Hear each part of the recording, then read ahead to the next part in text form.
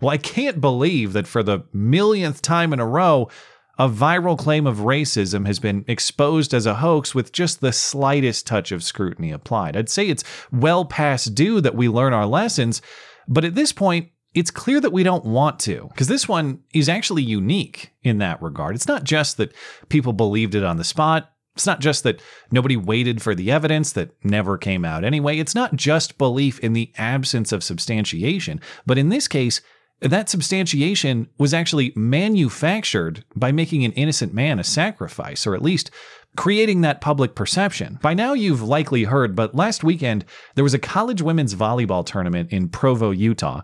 BYU beat Duke in this particular match, but through her godmother on Twitter, the lone black Duke starting player Rachel Richardson claimed that she was repeatedly called the N word every time she served by someone in the crowd and she said she was threatened by a white male after the game. And all of this required ongoing police monitoring during the game itself. And that tweet went viral with hundreds of thousands of interactions. It was promoted as true by LeBron James, who has his own highly questionable history with claims of racial aggression. And before any demonstration of the story was ever delivered, it was already assumed to be true, in part because the usual media suspects told us that it was. Notice the reporting here. It's not that this slur heckling was claimed, it's that it happened definitively. A Division 1 volleyball match at Brigham Young University turned really ugly when black players from Duke University endured racial slurs from at least one fan in the crowd. Likewise for the New York Times, the Washington Post, NPR,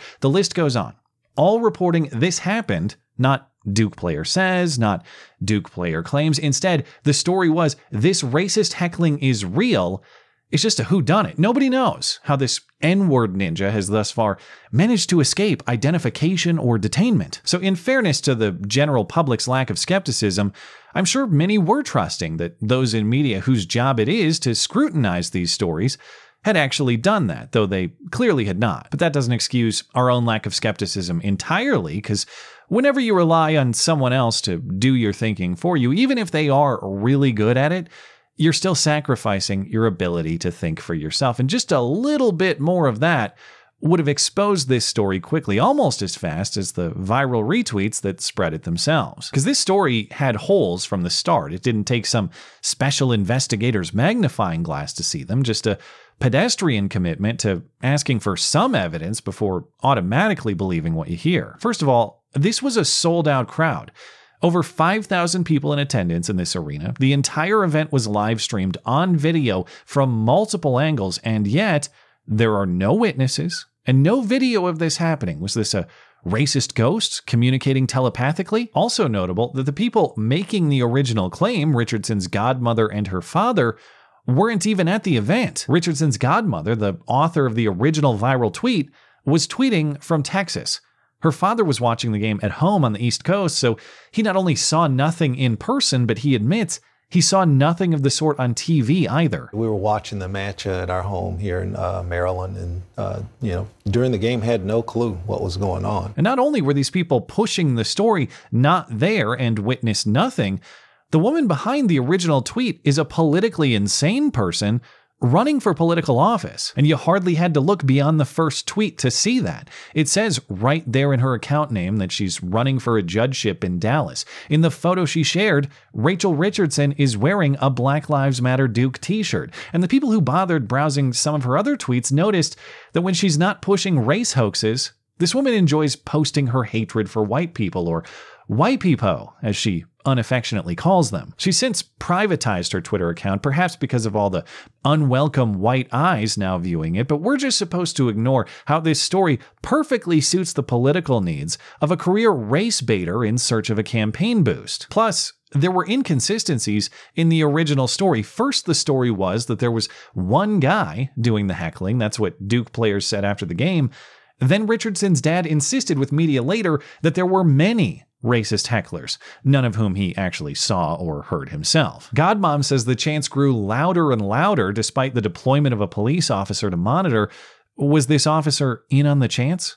If the chants got more and more obvious, how was the cop unable to identify the person? And all of these points are minor Compared to the broad premises that you had to buy to believe this story as told, it all just defies common sense to believe that a person would be openly screaming the N word and nobody intervenes or even bothers to record it. So it's not just him who's racist, it's everyone in the arena who's implicitly racist by tolerating this, including the mostly black BYU men's basketball team, who was seated right there in the student section where all of this was supposedly happening and either impossibly did not hear this louder and louder hateful voice that was getting from their seats onto the court clearly somehow, or they did hear it and in no way felt compelled to kick the ass of the person responsible or even react negatively in any way. They attended the whole game laughing on their way out. We'd have to believe that nearly everyone in that arena was somehow in on this racial heckling plot and apparently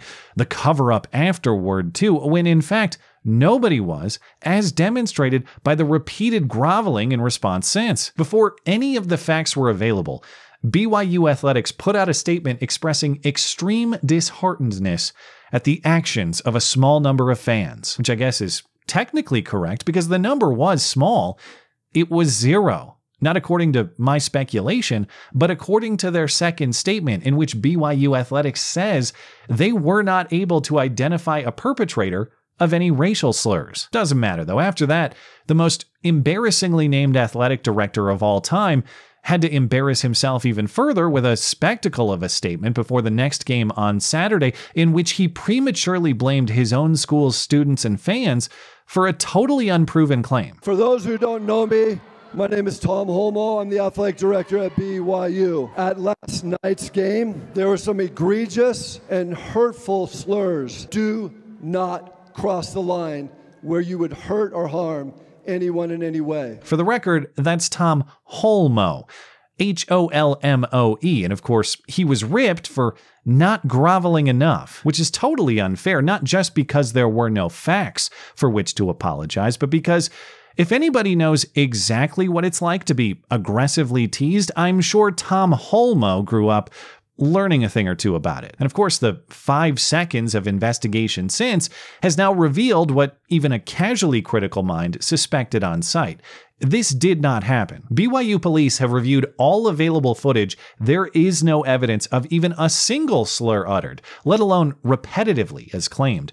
And they've been unable to identify even one witness who will say that there was. But what separates this story from the million others that came before it is in this case, someone was punished as though he was responsible for it, very publicly, apparently, as a sacrifice to appease the mob. That first BYU statement says that someone was banned from future games. In fact, from all BYU athletic venues indefinitely, NPR reports, for the reason that BYU loves and respects all God's children and is committed to abandoning attitudes of prejudice and rooting out racism, strongly implying this was the person responsible for the slur shouting. But what's strange is that second statement confirms they were never able to identify who shouted the slur. Well, if they couldn't identify this N word ninja then, and after investigation they still can't now, then who did they ban? Did they just send a lamb to slaughter? It appears yes. That police investigation confirms the man they banned never uttered a slur. He's on video the whole time. There's no instance of him yelling the N word. In fact, he wasn't even present when Richardson was serving as originally alleged, though he does admit he was yelling during the game that Duke players shouldn't hit the ball into the net. He's a student from a nearby college. By his own admission and review of the evidence, he's guilty of general sports taunting.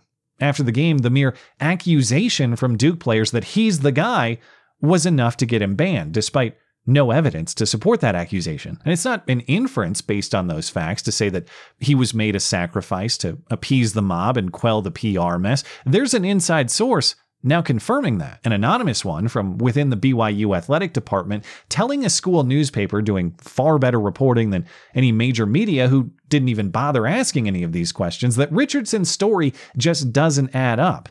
And BYU has banned an innocent man to appease the mob and make their PR mess go away. It's not about his guilt or innocence, it's just about the need to support the story as told. If the facts don't do that, we'll make them do that, which is what makes this story as a supposed episode of racism so laughable, at least as presented as white against black racism. It is a story of racism, but in the opposite way, it's only a story of racism because it maintains as an unbreakable premise that a black person is not capable of wrongdoing. If this was actually a case of white against black racism, and that was actually a broad feature of society, this complaint of a slur would have been laughed at and mocked with additional slurs. Instead, the mere accusation alone is enough for everyone accused to bend the knee and all but slit their own throats on command. This story has developed this way because of constant preference for a black person, not constant rejection.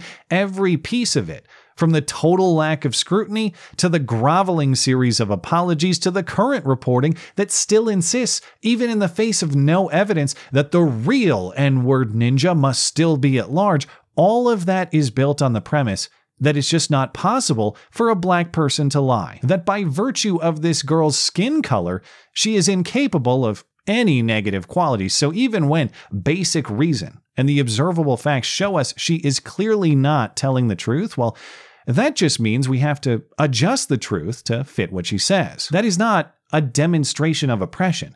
That is a demonstration of power. And this girl and her family almost certainly knew that when they exercised it. She knows that she has the power to say whatever she wants, have it be automatically believed to become a hero, and importantly, in this context, to punish the opposing team for kicking her ass in this game and the opposing home fans for likely enthusiastically enjoying that. This story is nothing more than uncritically empowered poor sportsmanship. This is a story of a sore loser who played badly and couldn't handle it, so she's reversing her fortune by exploiting the sympathies of a society she calls racist, but actually eagerly kisses her ass based on nothing but her race alone. And if that's racism, the ability to lose and to lie, and to smear and still be celebrated for all of your non accomplishments, well, we should all be so lucky to achieve it. Thanks as always for listening and for supporting this channel always. Appreciate that thoughtful discussion down below and especially over on Parler that is at ML Christiansen. You're always welcome to coming out and chat in my live streams. Those are linked down in the description. Looking forward to it. Goodbye.